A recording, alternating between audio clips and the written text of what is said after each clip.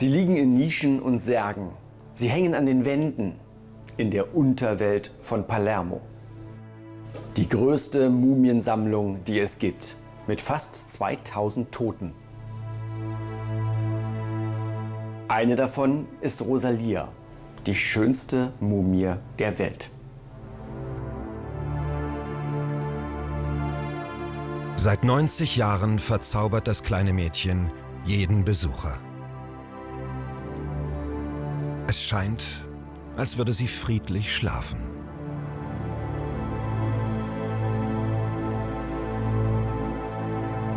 In diesem Raum liegt sie.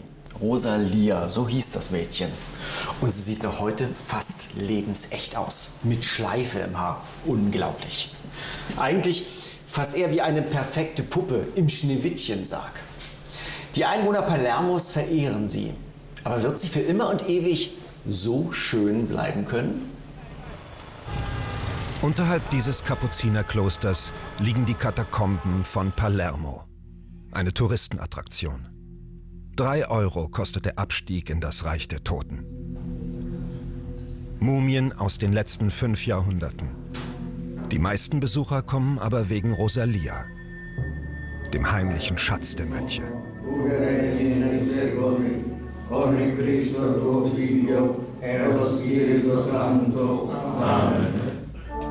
Welches Geheimnis verbirgt die schöne Mumie?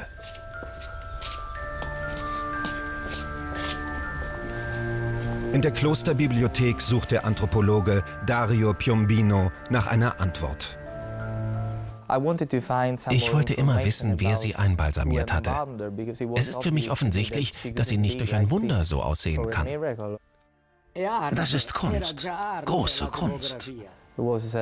Es gab nur eine kleine Notiz im Katalog der Kapuzinerkatakomben. Sie sprach von einem Arzt namens Dr. Solafia. Eine falsche Spur. Dario Piombino gerät in eine Sackgasse. So bleibt ihm Rosalias Geheimnis zunächst verschlossen. Der Sizilianer lässt sich nicht entmutigen.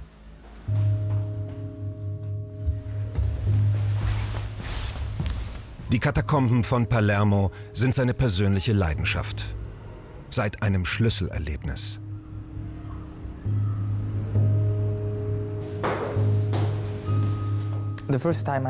Als ich das erste Mal nach Palermo kam und das kleine Mädchen sah, war ich tief beeindruckt. Sie schien so lebendig. Ich hatte den Eindruck, sie dürfe nicht in einem Grab liegen. Rosalia sollte draußen sein mit anderen Kindern. Ihr früher Tod war nicht gerecht.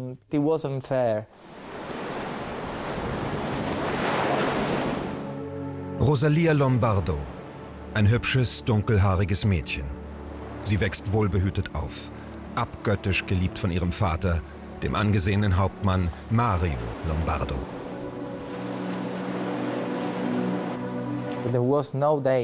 Es gibt nicht einen Tag, an dem ich nicht über dieses Kind nachgedacht habe. Für mich ist sie so etwas wie eine Familienangehörige, jemand, den ich wirklich beschützen muss.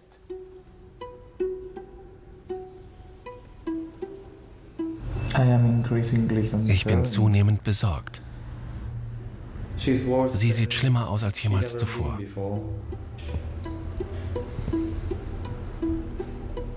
Seit einigen Jahren zeigt Rosalia starke Verfallsspuren.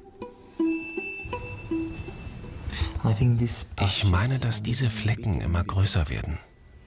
Auf den Wangen, auf der Nase, um die Lippen herum. Hilfe erhofft er sich von seinem Institutsleiter aus Bozen, dem Ötzi-Experten Professor Albert Zink, weltweit einer der anerkanntesten Mumienforscher. Im Krieg haben wir unten in den Katakomben Schutz gesucht. Ah, die Mumien haben die Lebenden also gerettet.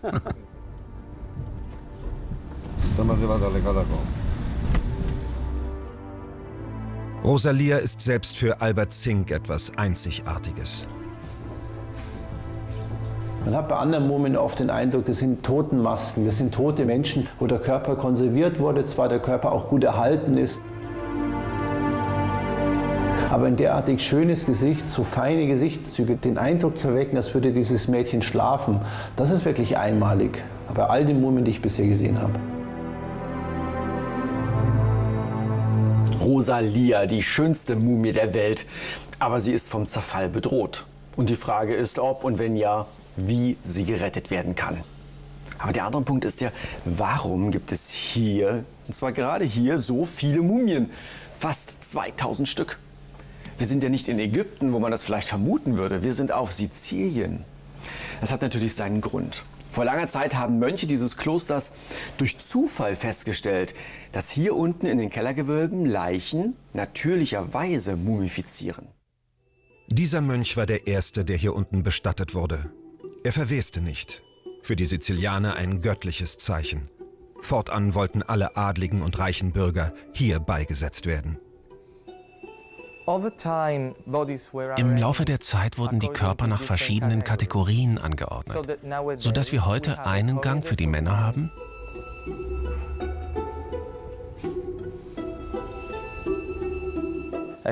einen Gang für Frauen, mit einem eigenen Abschnitt für die Jungfrauen, einen Gang für die Priester, mit einst mächtigen Bischöfen und Kardinälen, einen Gang für Ordensbrüder, die asketischen Kapuzinermönche und einen Gang für verschiedene Berufe. Maler, Ärzte, Politiker. Das ist der traurigste Abschnitt der Katakomben, der Bereich, der den Kindern vorbehalten ist. Es sieht aus wie ein sehr ruhiges Kinderzimmer. Und es ist sehr besonders, dass sie alle zusammen sind. Ich frage mich, ob die Familien sie alle an diesen Platz brachten, um sicher zu sein, dass sie in der anderen Welt miteinander spielten.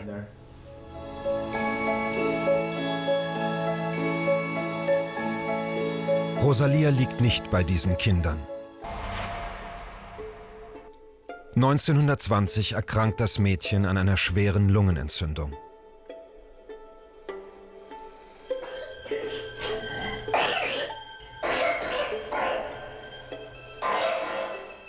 Antibiotika gibt es noch nicht.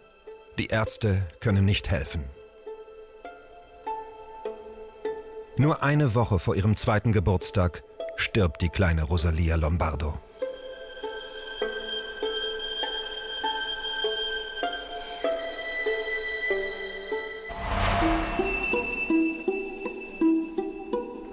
In Sicily auf Sizilien gibt es eine besondere Beziehung zwischen Lebenden und Toten. Die Toten werden als eine Art Schutz für die Familie betrachtet, wie kleine Heilige. Sie sind eine Art Medium zwischen unserer Welt und der göttlichen Dimension.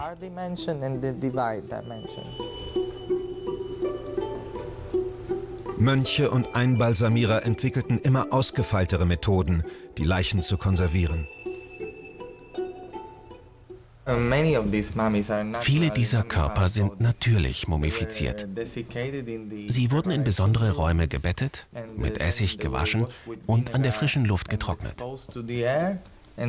Dann wurden sie angezogen und in den Katakomben in diese Nischen gehängt oder in Särge gelegt.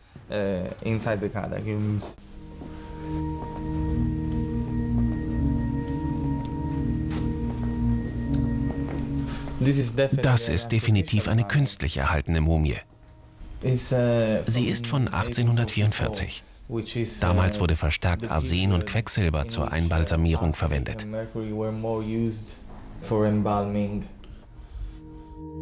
Hochgiftige Stoffe, oft tödlich für die Einbalsamierer. Rosalia wurde anders konserviert. Nicht von einem Arzt, wie die meisten Quellen behaupten. Dario Piombino stößt auf den Namen Alfredo Salafia, Chemiker und berühmter Tierpräparator. Aber von Salafias Einbalsamierungsformel fehlt jede Spur. Auf seiner Suche entdeckt der Anthropologe einen weiteren von Salafia präparierten Leichnam. Lass uns den Zustand des Bruders von Professor Salafia prüfen, Ernesto Salafia. Und er wurde von seinem Bruder genauso einbalsamiert wie Rosalia? Ja, wir nehmen jedenfalls an, dass es dieselbe Formel ist. Dann wollen wir mal aufmachen. Ziemlich staubig hier. Die Wissenschaftler suchen nach Hinweisen. Wie bei Rosalia bedeckt eine Glasscheibe den Sarg. Doch hier ist sie zerbrochen. Ist da Wasser in den Sarg eingetreten? Leider ja, durch dieses Loch. Der Körper ist stark zerstört, vermutlich durch die Feuchtigkeit, die eingedrungen ist. Fast skelettiert. Rosalia hingegen wirkt hinter ihrer intakten Glasscheibe noch immer lebendig.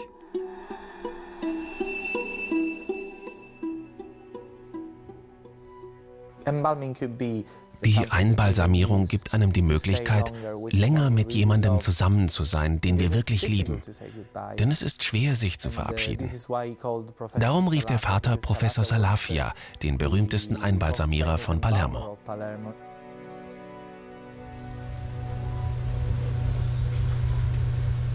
Ich werde mein Bestes geben. Ich verspreche es. Eigentlich ist die Beisetzung in den Katakomben seit Ende des 19. Jahrhunderts untersagt. Man vermutete, dass die Mumien Keime übertragen. Trotzdem durfte Lombardo seine Tochter dort aufbahren. Salafias Behandlung galt offenbar als eine Art Desinfektion. Aber kann sie Rosalia für immer bewahren?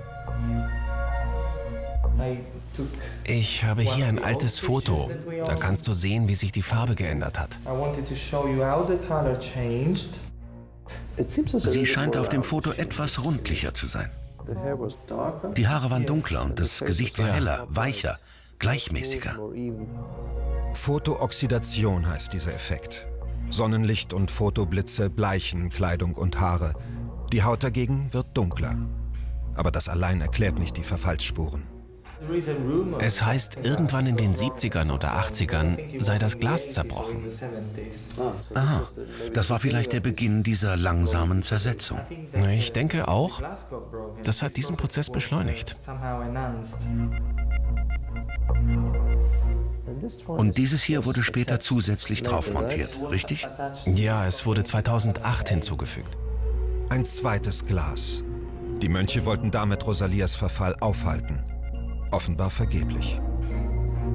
Fassen wir noch einmal zusammen. Rosalia, ein zweijähriges Mädchen, wird nach ihrem Tod komplett mumifiziert. Nach dieser speziellen Formel. Aber wenn heutzutage nicht schnell etwas passiert, ist ihr Zerfallen nicht mehr aufzuhalten. Denn seit einiger Zeit ist es hier in den Katakomben feuchter geworden. In diesem Raum kann man es besonders gut sehen. Die Decke fast komplett grün, überzogen mit Algen. Diese Feuchtigkeit, die auch in der Luft ist, fördert den Zerfall der Mumien. Jahrhundertelang nahm der Tuffstein Feuchtigkeit auf und die Luftzirkulation funktionierte. Doch bauliche Maßnahmen veränderten das Raumklima massiv. Alles ist sehr weich.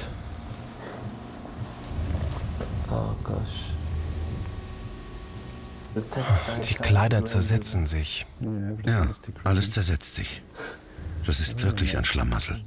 Schlimmer Zustand. Schau mal da. Moos und Algen auf den Tuffmauern. Überall Spuren starker Feuchtigkeit. Hier sehen wir ganz deutlich die Schimmelbildung an den Weichteilen. Das liegt an der hohen Luftfeuchtigkeit. Eine ideale Grundlage für den Schimmel face here and we can, I think we take the whole thing. Also in diesem Ausmaß habe ich es ehrlich gesagt noch nicht gesehen. Und das ist wirklich sehr bedenklich. Und hier muss man wirklich jetzt Maßnahmen ergreifen, dieses Wachstum zu stoppen. Ich weiß von den Kapuzinern, dass hier umgebaut wurde. Zum Beispiel wurde das Abwassersystem erneuert. Das hat definitiv zu diesen Veränderungen geführt. Die Forscher haben an verschiedenen Punkten Sonden angebracht, um Temperatur- und Feuchtigkeitsschwankungen über einen längeren Zeitraum messen zu können. Ah, okay, it's almost full. Die Auswertung der Daten zeigt, die Luftfeuchtigkeit ist viel zu hoch. Mumien vertragen maximal 50 Prozent.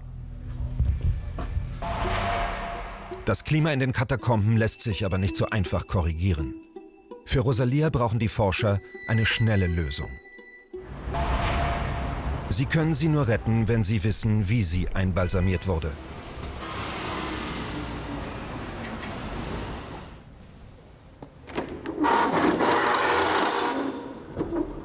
Im Kommunalarchiv von Palermo lagern seit 1311 die amtlichen Dokumente der Stadt. Hier hofft Dario Piombino endlich Hinweise auf lebende Verwandte des Einbalsamierers Alfredo Salafia zu finden.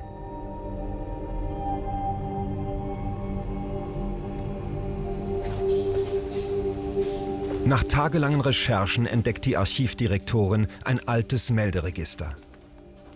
Wenn darin Verwandte Salafias aufgeführt sind, kann Dario Piombino einen Stammbaum zeichnen, der ihn vielleicht zu den noch lebenden Erben führt. Salamone, Salafia. Ah, eccolo qua. Eccolo qua. Alfredo Filippo Maggio Rosalia. Sembra proprio lui. Sì, sì, penso proprio di sì. Die mühsame Suche lohnt sich. Dario Piombino findet tatsächlich eine entfernte Verwandte Salafias. Sie behauptet, persönliche Dokumente des Einbalsamierers zu besitzen. Darunter ein Manuskript, von Salafia selbst verfasst.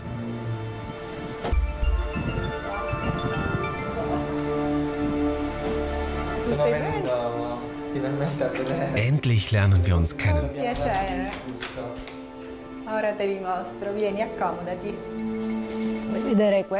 Hier ist das Manuskript. Schauen Sie mal.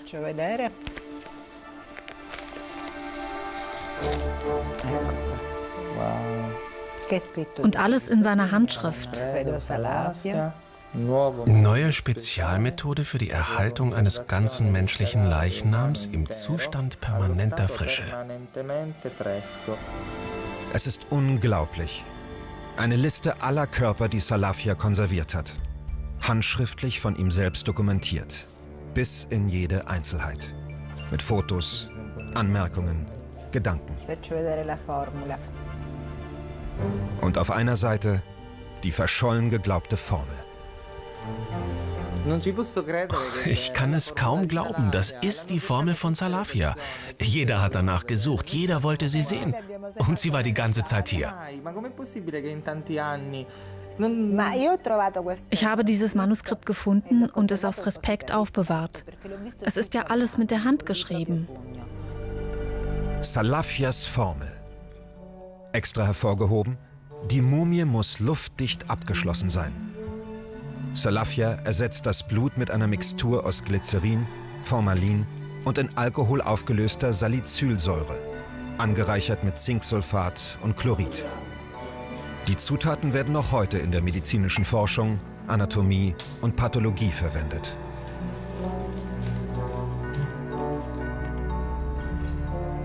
Für mich ist sehr interessant, dass er Formalin benutzt hat und nicht Quecksilber und Arsen wie andere Einbalsamierer. Das war für seine Zeit etwas sehr Besonderes. Er war also sowas wie ein Pionier. Das ist im Wesentlichen dieselbe Formel, die seit 100 Jahren besteht und bis heute angewandt wird.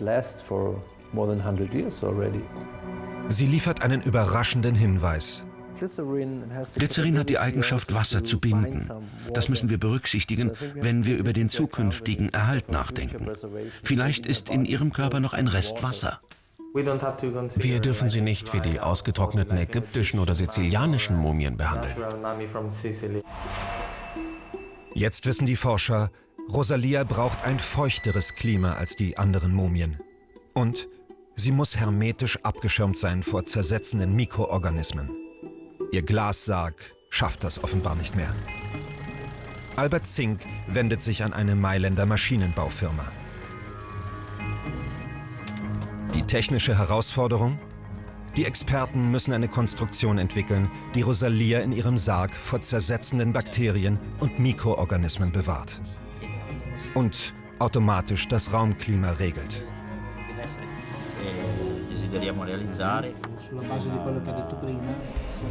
Doch dazu brauchen die Forscher die Genehmigung der Mönche.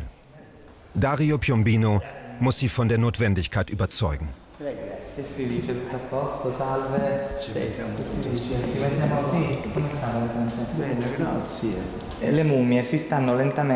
Die Mumien zerfallen langsam. Insbesondere die Feuchtigkeit ist viel höher als früher. Ein noch größeres Problem ist Rosalia Lombardo. Sie braucht eine spezielle Behandlung. Deshalb ist es notwendig, für sie ein besonderes Mikroklima zu schaffen.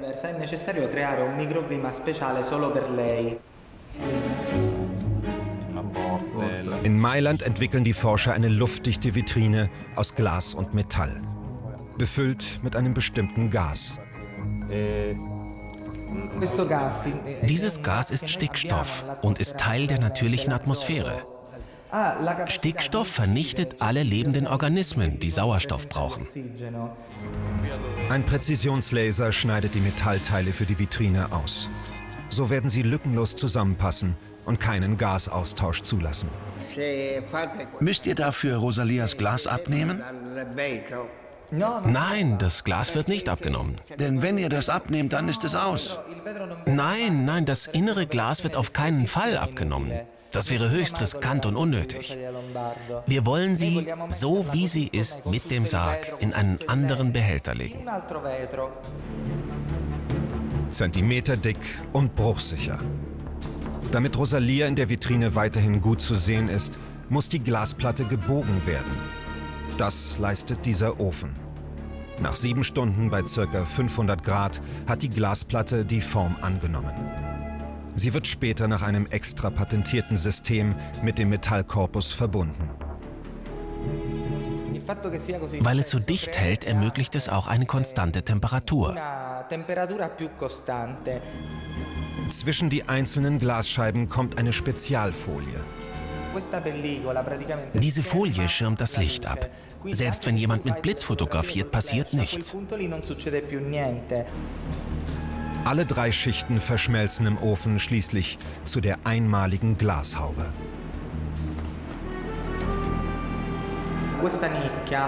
Die Vitrine ist dann durch einen Computer mit unserem Institut verbunden. Wo ist das denn? In Bozen. Ah, Bozen. Und dort habt ihr auch so ein Ding? Ja, sicher. Über den Computer kommen die Daten direkt an. Wir könnten auch am anderen Ende der Welt sein. Es kommt in Echtzeit an. Die Mönche sind überzeugt. Es wurde lange darüber diskutiert, wie Rosalia in die neue Vitrine kommt. So gab es zum Beispiel die Idee, diese Glasplatte zu entfernen, sie doch hier rauszuholen und umzubetten. Aber die Verantwortlichen waren dagegen. Das heißt also, sie muss, so wie sie hier steht, mit ihrem Kindersarg in diese Vitrine gelegt werden. Für die Wissenschaftler ist das ein vollkommen neuer Weg, den sie hier beschreiten. Und alle sind sehr gespannt darauf, ob sie dadurch gerettet werden kann. Nach fünf Monaten Planung und Bauzeit kommt die Vitrine im Kapuzinerkloster an.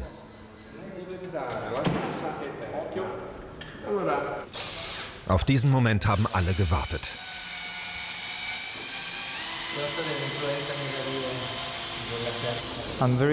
Ich bin sehr gespannt, wie sie aussieht.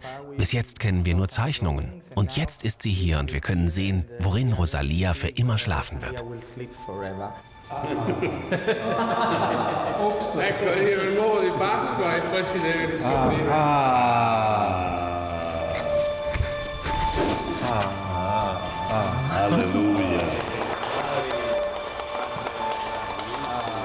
Bellissima, non ho parole.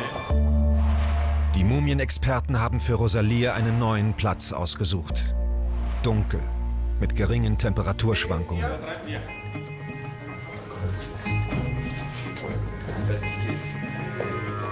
Piano piano, slowly. Der Glaskasten wiegt mehr als 100 Kilogramm. Einen Aufzug gibt es nicht.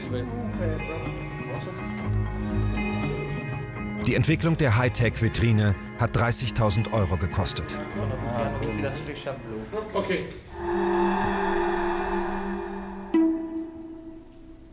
Zum ersten Mal nach 90 Jahren soll Rosalia die Krypta verlassen, in der ihr Vater sie aufbahren ließ. Anfangs kam er sehr oft nach Palermo. Er musste sie sehen. Seine kleine Rosalia. Eigentlich sollte sie nur vorübergehend in den Katakomben bleiben, denn Mario Lombardo wollte Sizilien verlassen und seine Tochter mitnehmen.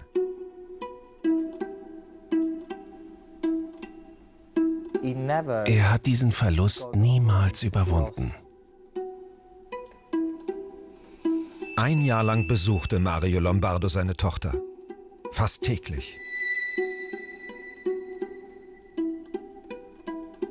Dann, von einem Tag auf den anderen, kam er nie wieder. Und jetzt verlässt Rosalia ihre Krypta. Marco, devi partire tu. Sì, sì, sì dai.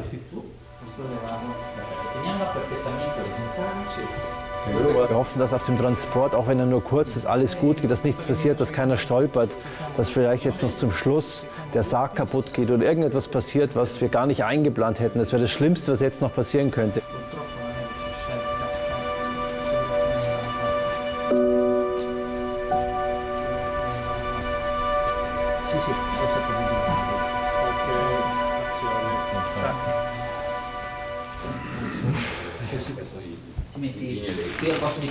Nächstes wird mit einer verdünnten Formalinlösung das Ganze nochmal desinfiziert, damit auch keine Bakterien, Mikroorganismen schon in die Vitrine mit hineingetragen werden.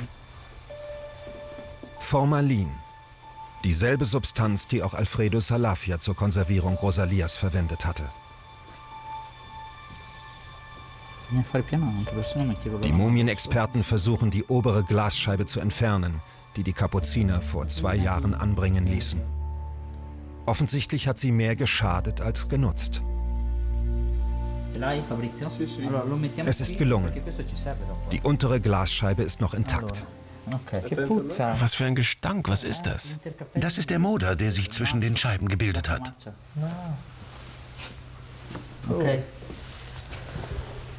Also es lief sehr gut, nur haben wir festgestellt, wie wir die Scheibe abgenommen haben, dass sich zwischen den beiden Scheiben eine Kondensflüssigkeit gebildet hat und auch ein gewisser Geruch ist aufgetreten, der darauf hinweist, dass sich dort schon Mikroorganismen gebildet haben. Ich bin sehr froh, dass wir das jetzt weggemacht haben, weil es einfach schlecht auch für den Halt der Mumie ist. Durch diese Luke wollen die Wissenschaftler Rosalias Sarg in die Vitrine schieben. Millimeterarbeit. Durch das Glas können die Wissenschaftler nichts korrigieren. Die Mumie darf nicht verrutschen. Jede hastige Bewegung wäre jetzt fatal.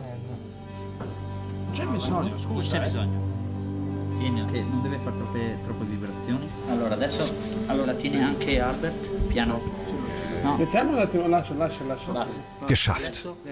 Die letzten Handgriffe. Die Vitrine wird über ein Ventilsystem mit Stickstoff befüllt. Ohne Sauerstoff haben Bakterien und Mikroorganismen keine Chance mehr, die Mumie zu zersetzen. Die Feuchtigkeit stellen die Experten auf 65 Prozent ein, damit Rosalia nicht austrocknet.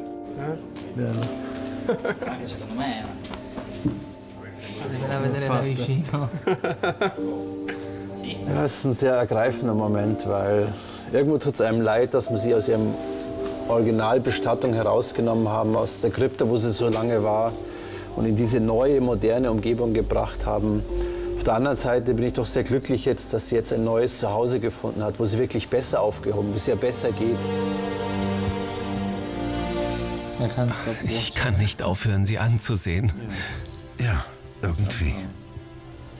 Es scheint ihr gut zu gehen.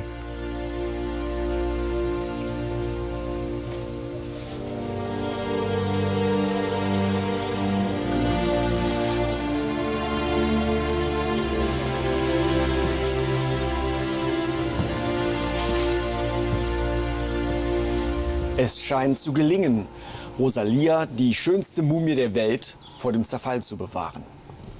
Dem Vater ist etwas gelungen. Die Tochter hat nicht nur ihn bewegt, sondern fasziniert Menschen bis heute. Und wir? Wir haben über diese persönliche Geschichte einen Einblick bekommen in das Leben Süditaliens vor rund 100 Jahren.